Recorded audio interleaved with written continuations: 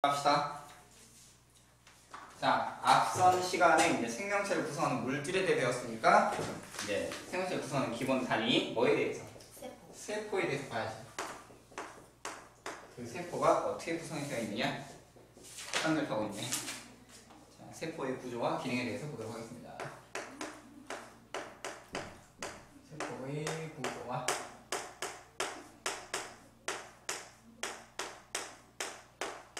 기능에 대해서 살펴볼 텐데. 자, 우리가 세포는 크게 이제 두 가지로 나눠볼 수가 있지. 뭐와 뭘로 나눠볼 수 있습니까? 세포를 크게 둘로 나누면 산세포. 원액 진액. 원핵 세포와 뭘로 나눠볼 수 있어? 진핵 세포로 나눠볼 수가 있더라. 기본적으로 이제 원핵 세포 같은 경우는 어떻게 생겼냐?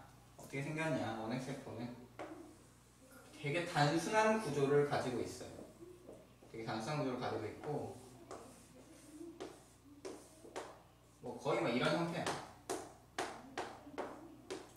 뭐 이런 걸 생겼어. 대부분 이제 원핵 세포 같은 경우는 이제 세균, 세균이나 고세균 이런 무리들이 쉽게 얘기하면 세균 같은 것들이 이제 원핵 세포다라고 생각하시면 되고요. 기본적으로 원핵 세포는 뭘 가지고 있냐? 핵산은 있어. 핵산이 있습니다. 핵산은 그러니까 유전 물질의 이제 DNA로 가지고 있어. 핵산은 있어. 근데 얘는 중요한 게 뭐가 없느냐? 핵이 없어. 핵이. 핵이 없기 때문에 세포질 내에 핵산이 둥둥 떠다니는 구조다라고 보시면 돼요. 그리고 이제 세균에 대해서 여러분이 조금 배웠으니까 알겠지만 여분의 DNA를 저장해 놓는 플라스미드 이런 구조가 또 있죠. 그리고 얘도 뭘 해야 돼? 단백질을 합성해야 되잖아. 단백질을 합성해야 되기 때문에 반드시 리보솜이 있어야 돼. 리보솜은 존재해야 된다. 하지만 복잡한 세포 소기관은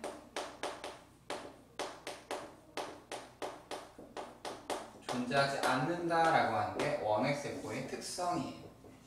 이게 이제 원핵 세포고 진핵 세포는 좀 더 이제 복잡한 구조들을 가지고 있지. 좀 더 복잡한 구조. 일단 크기 자체가 어때? 훨씬 큽니다. 진핵 세포를 구별해 본다면 너무 이쪽으로 그렸네요. 너무 이쪽으로 그렸어. 진핵 세포를 우리가 한번 살펴보게 된다면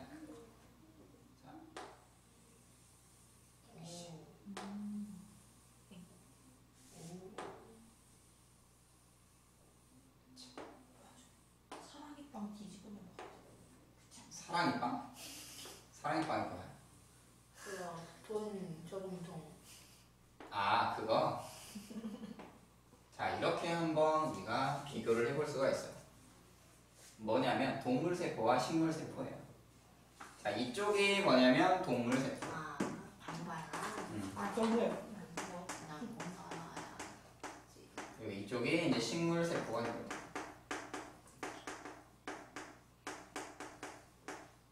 기본적인 기능들을 좀 보기 위해서 이렇게 같이 한번 그려봤고요. 일단 중심부에는 뭐가 있냐면 핵이 있습니다. 핵이 이렇게 있어요. 지금 이렇게 존재하고 그 다음에 동물세포나 식물세포는 둘 다 존재하는 건 뭐가 있느냐 뭐 이렇게 생긴 게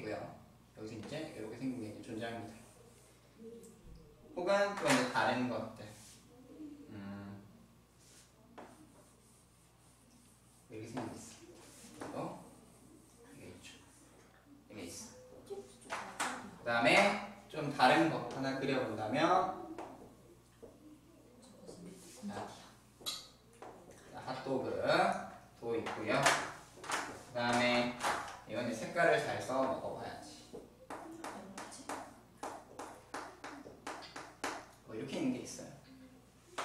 그 외에 이제 뭐 똥똥똥똥똥똥똥똥똥 이런 거 있고 뭐 이런 것들 존재해 있고요. 어,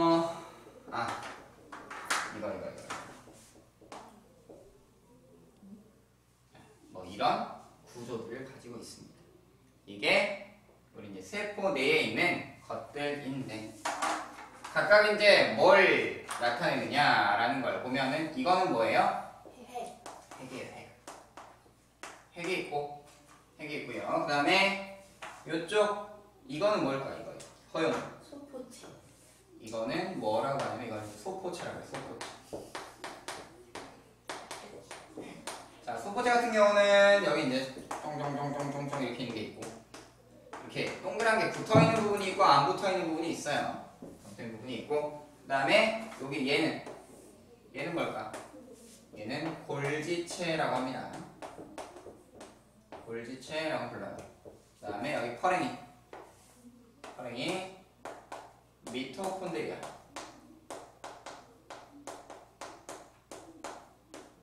미토콘드리아가 있지요. 근데 아 여기 요거는 이제 뭐냐면 허용은 또 있지 뭐냐면 중심체라고 불러요. 중심체. 중심체. 중심체는 그거 있습니다. 알겠죠? 뭐 왜? 뭐? 중심립도 맞아요. 어 중심체가 붙어 있는 게 중심립이야. 그러니까 요거 통으로는 중심립이고요. 요거 하나가 이제 중심체라고 보시면 돼요. 알겠죠? 아 중심립으로. 여러분 헷갈리지 않기 위해서. 중심립. 이렇게 있어. 그 다음에 그럼 이제 식물에만 있는 거. 식물에만 있는 거. 자 일단 첫 번째 엽록체. 여기는 세포 어. 있고요. 그다음에 여기 에코라는 게 있습니다.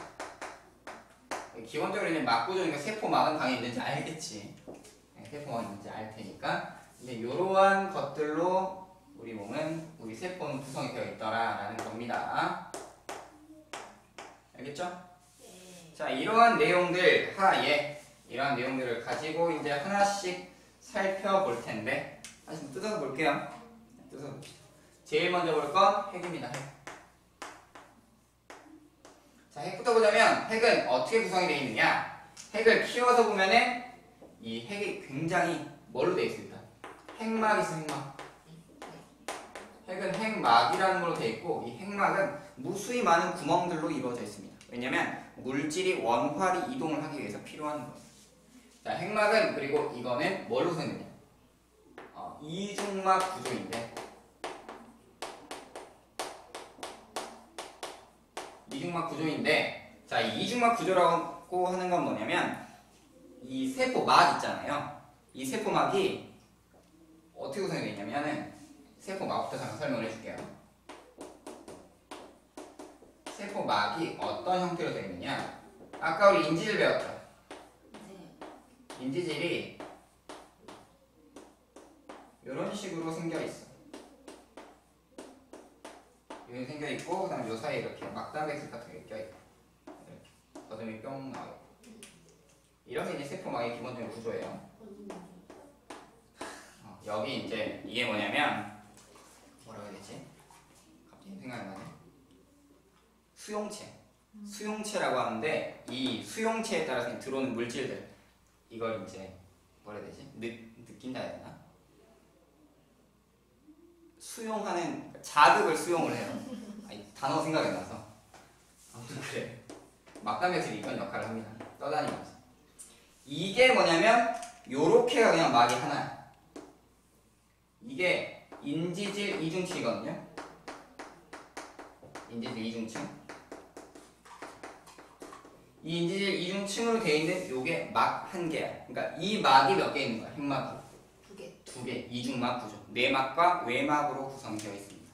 그리고 핵에는 뭐가 있냐? 인이라는 게 있는데, 인은 뭘 하느냐? 여기서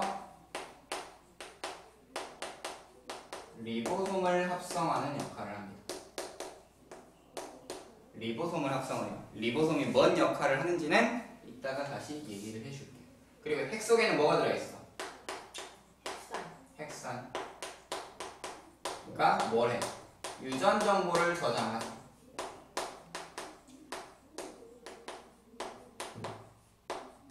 그리고 무수히 많은 구멍이 핵공을 통해서 물질들이 이동을 하게 되더라 라는 겁니다.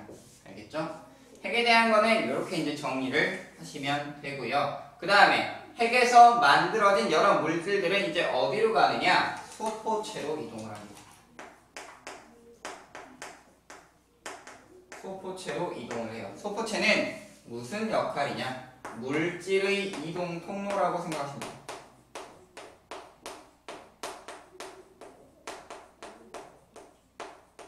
그러니까 말 그대로 택배, 소포를 보내는 곳이 소포 보내는 곳. 물질의 이동, 아니 그 진짜 그건 아니고, 진짜 그건 아니고 그렇게 외우시면 편하다. 자 소포체에는 두 군데가 있어. 거친 면 소포체가 있고, 거친 면 소포체와 그 다음에 매끈 면 소포체라는 데가 있는데.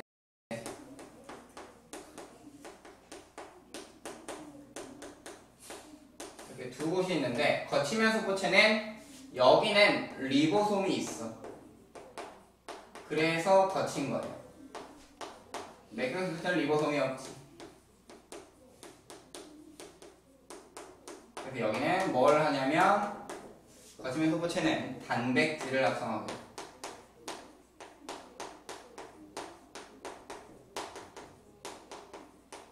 단백질 합성하고 이쪽은 이제 지질을 합성하는 역할을 합니다.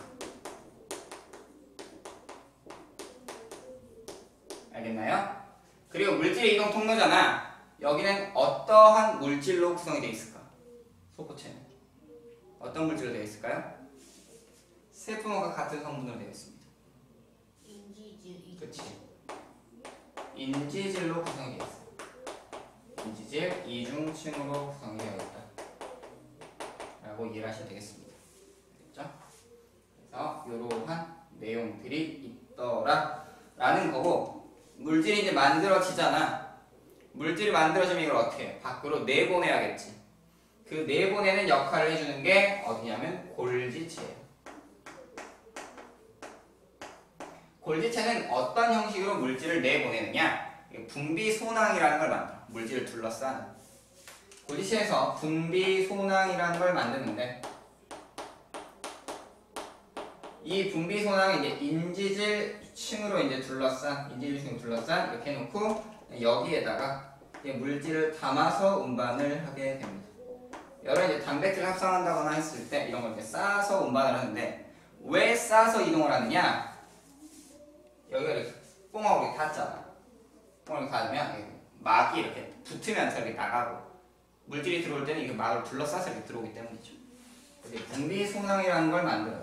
특히 이 분비 소낭을 만들어야 하는 이유는 뭐 때문이냐면 이 안에 있는 게 예를 들어 가소나 효소 같은 거, 효소들이 들어있다고 칩시다. 이게 단백질을 부- 분해하거나 지질을 분해하는 효소라고 하면 이게 만약에 세포에 닿아버리면 세포를 분해해버리겠지. 그러니까 안전장치를 걸어주는 거지. 분비소낭을 만들어 놓는 거. 알겠습니까? 이러한 내용이더라 라는 거죠. 알겠습니까? 이렇게 이해를 하시면 돼요. 그래서 소포체와 골지체 핵으로부터 이렇게 물질들이 이동을 하게 되고 그 다음에 이제 어떠한 것들이 있느냐 실제로 이제 세포의 기능을 하기 위해서 필요한 부분들 첫 번째로 볼 거는 뭐가 있어요? 미토콘드리아가 있습니다.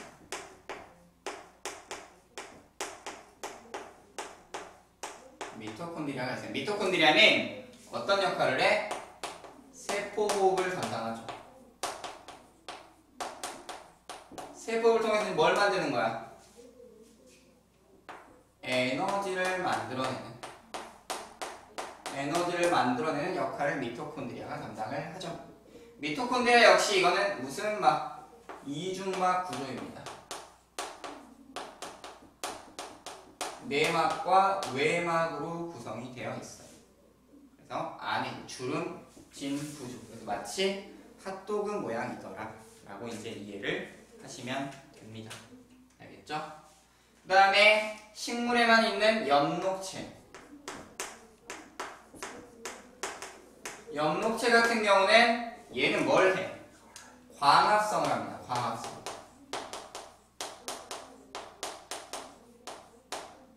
엽록체 안에는 뭐가 들어있어요? 아 모르는구나. 음. 그라나라고 한 게 들어있어요. 그라나. 여기서 이제 뭐 틸라코이드 이런 게 있는데 얘들이 이제 광합성을 하지. 그러니까 이거는 뭐라는 거야? 물질 아 광합성은 뭐예요? 영양분을 합성해주는 뭘 이용해서 빛을 이용해서 영양분 합성을 하죠. 엽록체도 마찬가지로 이중막 구조입니다. 이렇게 구성이 되어 있어요. 알겠습니까? 이제 그 외에 이제 필요한 부분들을 조금 이제 살펴본다면 그 외에 필요한 부분을 살펴본다면 아, 자 일단 리보솜 리보솜은 뭘 할까요? 리보솜은 뭘 할까? 얘는 단백질 합성에 관여하죠. 단백질 합성이 일어나는 장소가 리보솜이었잖아. 얘는 뭘로 구성이 되어 있냐면은 rRNA라고 하는 RNA에 의해서 만들어져 있습니다. 그러니까 얘는 뭘 안 가져? 막구조를 가지지 않아요. 막구조를 가지지 않습니다. 리보솜은 이러한 특성이 있더라. 그리고 이렇게 여기 세포 질에도 많이 분포해 있고 그 다음에 여기에 거치면 소포체에 주로 있게 되죠. 자, 그 다음에 리소좀. 리소좀이라는 게 있는데 리소좀은 분비소낭에 쌓여 있고요. 분비소낭에 쌓여 있고 얘는 뭘 가지고 있냐? 가수분해 요소를 가지고.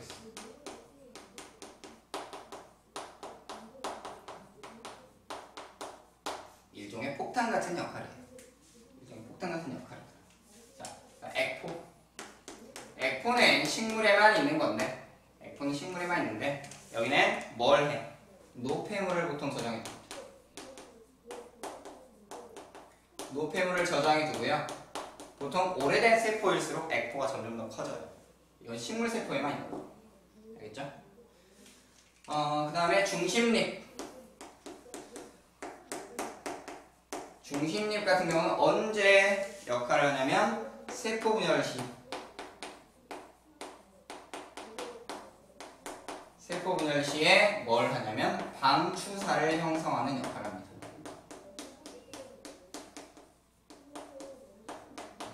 중심이는 뭘로 되어 있냐면 되어 있어요. 미세 소관이라는 것들이 이제 뭉쳐가지고 만들어진 게 중심 립입니다. 알겠죠? 그 다음에 세포벽. 세포막은 이제 아까 여기 이렇게 되어 있죠.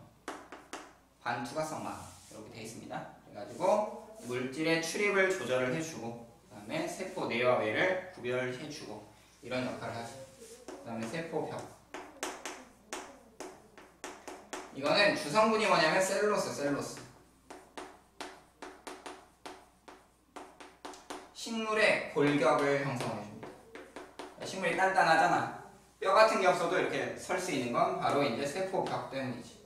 튼튼하죠. 대신 세포벽이 있으면 딱딱해서 저기 물질의 출입은 좀 번거로운 부분도 있더라. 우리 몸은 셀룰로스를 분해하는 효소가 없기 때문에 대장균들이 이걸 분해한다라고 했어요.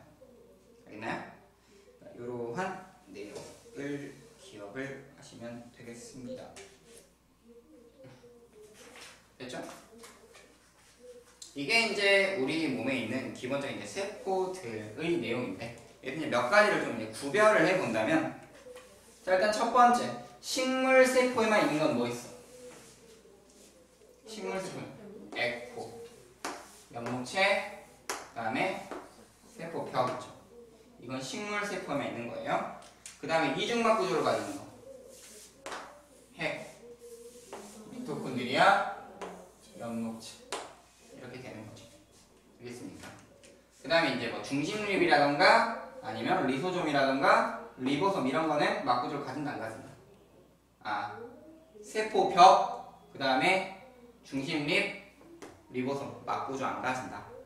네, 이런 것들 기억하시면 되겠어요. 세포벽 리보솜 중심립 막 구조 없습니다. 알겠죠? 여기 있는 인도 마찬가지. 인도 막 구조는 없어요. 됐죠? 이런 내용을 기억을 하시면 되겠다. 이제 그 다음으로 넘어가겠습니다. 이러한 세포들이 모여서 이제 우리 몸의 여러 가지 부분들을 담당을 하죠. 어! 왜? 아, 아 맞다. 아. 영상 보고 하세요. 영상 보고 하세요. 원하는 올라오나요? 어 이거 끝나면 올라갈 겁니다. 잠시 멈춰두고 하시면 됩니다. 아. 뒤로 뒤로 해야지. 미안해. 내가 깜빡했습니다.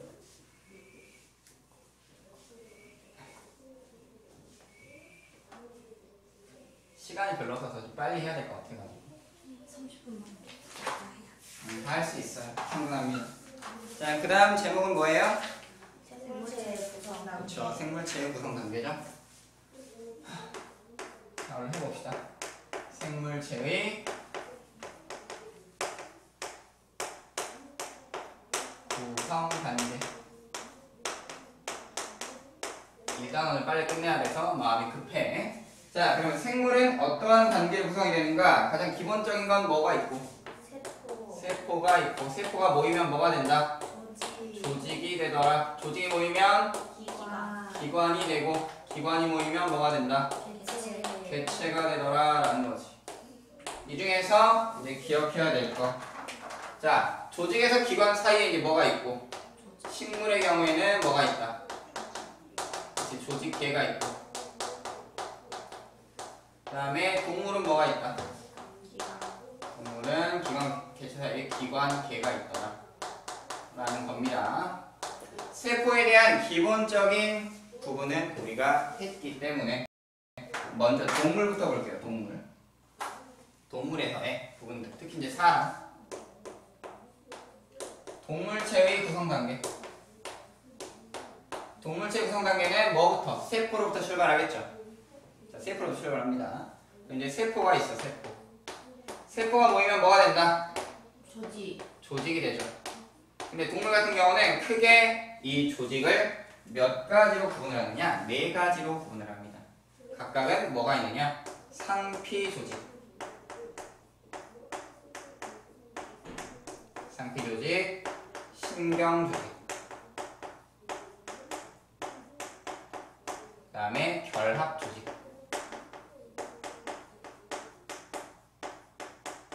그리고 근육 조직이 있어요. 분류를 해보자면 이렇게 네 가지로 분류를 합니다. 가장 먼저 상피 조직 같은 경우는 뭘 얘기하는 거냐면 가장 겉에 껍데기. 우리 피부에 있는 제일 위에 있는 세포뿐만이 아니라 우리 기관 내에 있는 겉 표면 있죠. 이러한 것들을 만들어내는 게 상피 조직입니다. 표면을 만들어내는 거. 신경 조직은 뭐라고 했어? 신경을 구성하겠죠. 그치? 네. 특히 신경 조직 같은 경우는 특징적인 게 뭐냐? 얘는 재생이 안 되죠. 척수 끊어지면 하반신 마비되잖아. 재생을 할 수가 없죠. 신경은.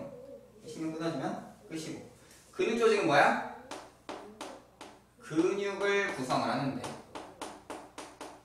근육 구성을 하는데 근육 조직에서 이제 근육은 이제 몇 가지로 구분이 돼요. 크게 이제 근육을 두 가지로 구분하는데 이건 이제 수익은 수익은과 불수익은이라는 게 있어.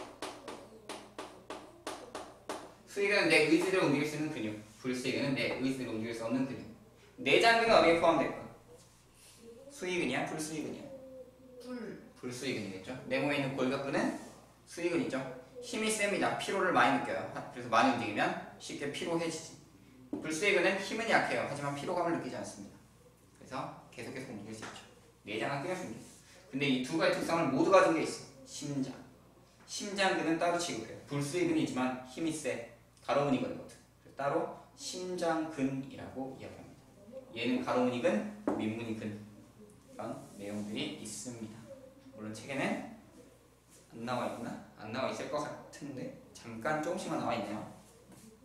그리고 결합 조직은 뭐냐면 나머지 뼈나 연골이나 혈액이나 이런 것들 나머지 나무. 구성이 되는 게 뭐다? 결합 조직이다.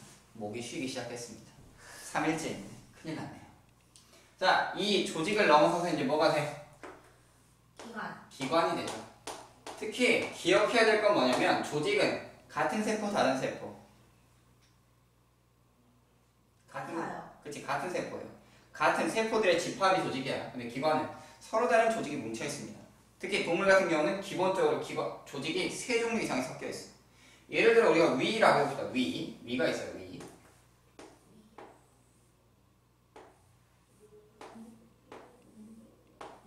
위야 위.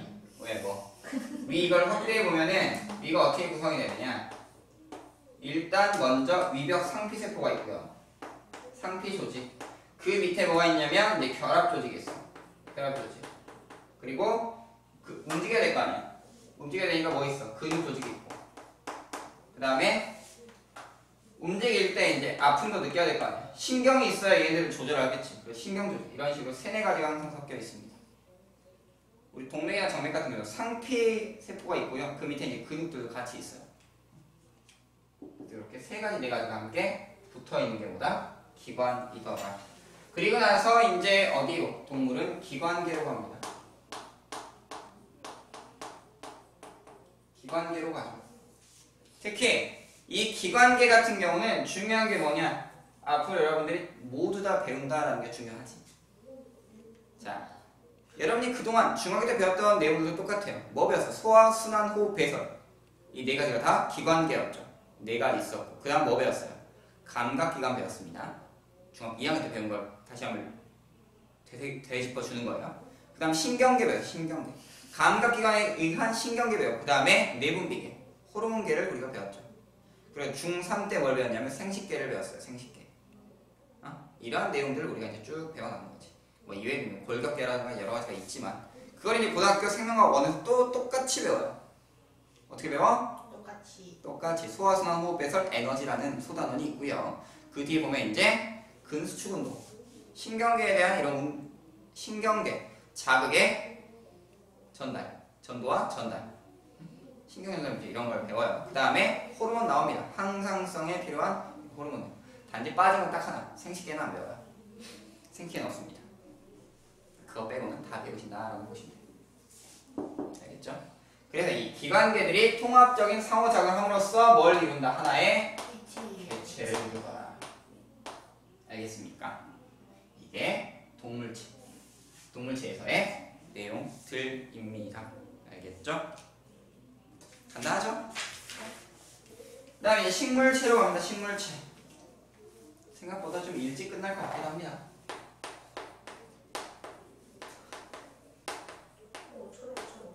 자, 식물체로 가면 식물체도 이제 뭘로 돼 있어, 먼저? 세포 세포가 있고 이 세포들이 모여서 뭘 만들어? 조직 조직을 만들지. 특히 이제 식물체의 조직 같은 경우는 크게 이제 네 단계로 나눠요. 네 단계가 네 가지로 나눴는데 아까 동물체도 네 가지가 있었잖아.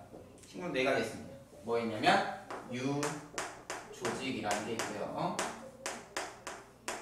그 다음에 통도 조직이 있어. 아, 그 전에 동물 같은 경우는 거의 다 분열 조직이거든요.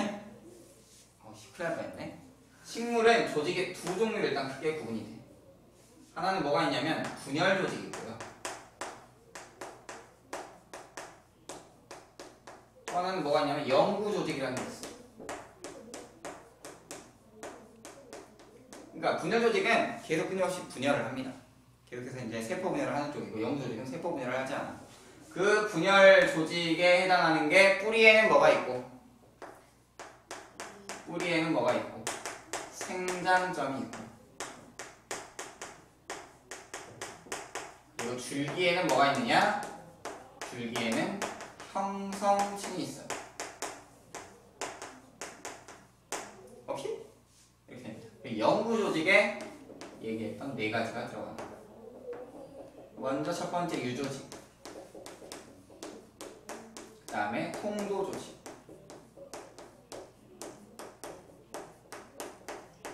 그 다음에 기계 조직.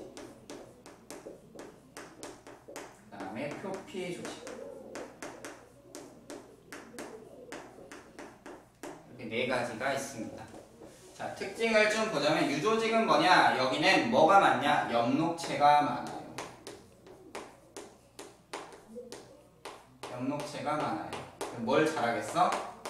광합성을 엄청 잘하겠지. 아, 엄청 잘합니다. 통도 조직은 뭐 물관이나 체관. 그러니까 물질의 이동 통로를 만드는 조직들이 통도 조직. 특히 물관 같은 경우는 죽은 세포로 또 구성이 되어 있죠.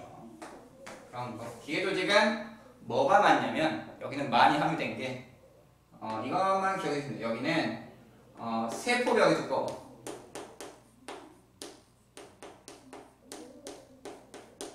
튼튼하겠죠. 그 다음에 여기는 껍데기, 껍데기, 껍데기. 가장 바깥쪽 부분. 근데 여기 표피 조직이고 동물은 상피 조직이지. 무슨 차이일까? 이거 좀 용어를 좀 표면이라고 써줄게. 표면. 너무 날라리로 하면 좀 그러니까. 너무 날리면 좀 그러니까. 여기 표피 조직과 상피 조직의 차이는 뭘까요? 표면은 음, 아니 표피는 음. 겉에 보이는 것만. 음, 진짜 그냥 표피야. 식물은 드러나 있는 부분이 있어요, 없어요? 안쪽으로? 없지. 다 둘러싸여 있잖아. 동물은 아 속살도 볼 수 있잖아. 아 속살도 볼 수 있잖아. 내시경으로 속살 볼 수 있어 없어? 가능하죠. 식물은 내시경 쓸 수 있어 없어? 구멍 뚫어야 돼요. 음. 그래야 안쪽 볼 수 있어요. 그 차이예요. 그러니까 상피는 내장 우리 몸 내부에 있는 겉 껍데기도 상피라고 하지만 여기는 진짜 겉이야. 겉부분만 얘기하는 거. 알겠죠?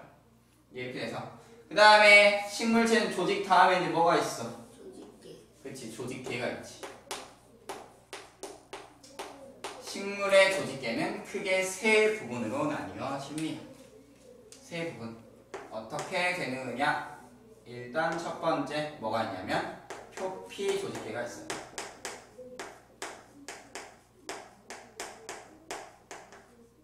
여기 또 이제 여러 조직들이 있는데 기관이라고 하기엔 좀 약간 애매한 부분들이라서 그래요. 혼자 아무것도 못하거든요. 그다음 뭐 있어요? 통 아, 관다발.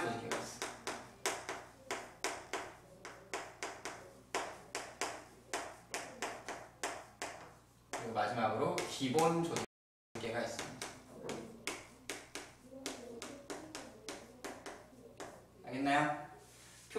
조직계는 말 그대로 표피예요. 우리가 잎을 하나를 놓고 본다면 식물의 잎사귀를 이렇게 하나 놓고 본다면 어떤 식으로 구성이 되어 있냐면 가장 겉에 이제 이렇게 세포들이 구성이 되어 있죠.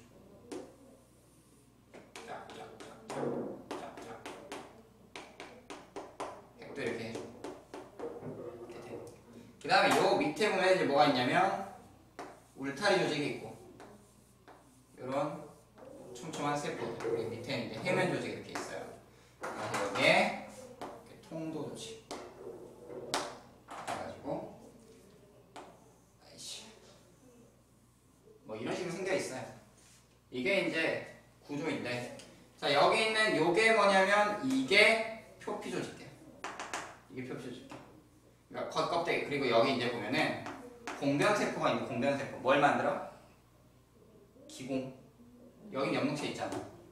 그러니까 이런 것들을 포함하는 거고. 관다발 조직계는 뭐냐면 아까 봤던 물관 체관의 뭐 형성층 포함하는 게 관다발 조직계죠 관다발 다발이라고 하는 게 이제 여기 묶음이잖아요. 그런 조직계. 그리고 이제 기본 조직계는 말 그대로 이제 광합성을 수행을 하고 내부 물질을 구성하고 이런 부분이 뭐다? 기본 조직계에 포함이 되더라라는 겁니다. 알겠죠? 10분 남았어 10분 충분히 끝낼 것 같아 그리고 이제 이것들이 모이면 뭐가 돼? 기관. 기관이 되죠 기관은 크게 두 파트 두 파트 영양기관과 생식기관이 있어요 영양기관, 생식기관이 있는데 영양기관에 뭐 있어요? 뿌리, 잎, 줄기. 그래서 무성생식 중에 뭐 있었어? 영양생식이 있었잖아. 뿌리나 줄기나 잎 가지고 이제 심었을 때 나오는 거. 이게 영양기관이죠.